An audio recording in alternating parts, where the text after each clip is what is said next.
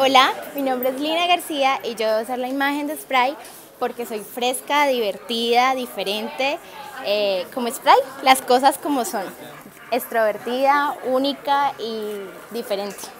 Spray. Ya.